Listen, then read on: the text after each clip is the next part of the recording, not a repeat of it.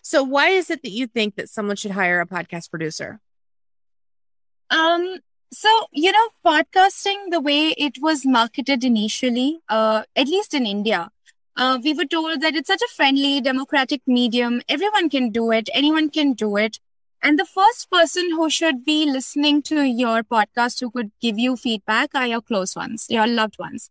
But the thing is that your loved ones don't always understand the medium. They won't always understand the subject matter that you're talking about. They don't have expertise there. And another controversial opinion right here that a lot of times they might just not be invested in you in that way, right?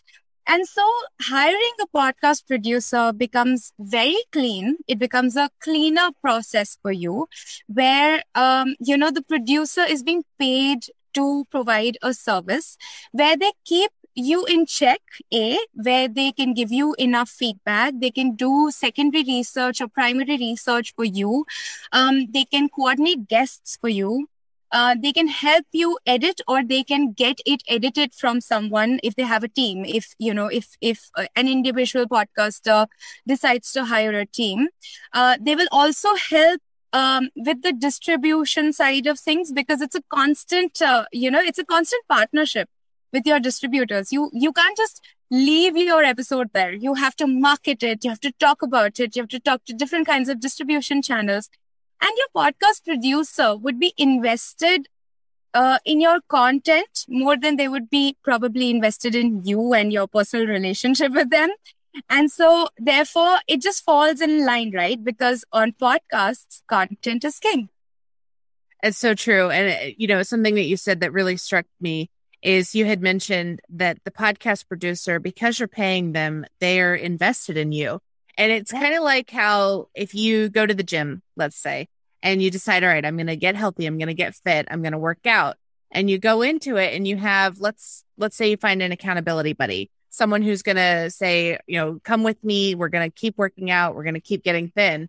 Well, and then what happens? Eventually they stop coming with you. They stop checking in. They stop asking how much weight you've lost. But a personal trainer, someone that you've paid, they're going to be checking in with you because they know if you're not getting the results that you want, what are you going to do? You're going to fire them. And so, yeah.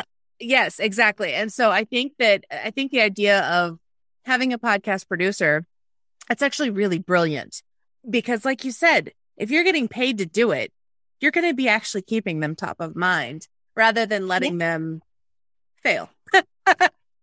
Absolutely. Uh, it's a part of uh, their performance as well, right? It becomes a part of your podcast, then becomes a part of their portfolio as well, where they, uh, you know, say that, oh, I, I produced this podcast and this podcast is this successful. It has these many listens. It has these kind of guests. So they would also be proud to, you know, sort of um, own the property along with you. Absolutely. I mean, that makes perfect sense because if someone's actually, if someone's there and they care about it, they're going to do everything they can to help you be successful because there's your success becomes their success yes. and their success becomes your success. And the more that, the more that you can show that you have downloads that are coming in, you have, you know, new listeners that are coming in, then that becomes your piece that you can say, Hey, I'm a podcast producer. I helped this guy become successful. Here's what I can do for you.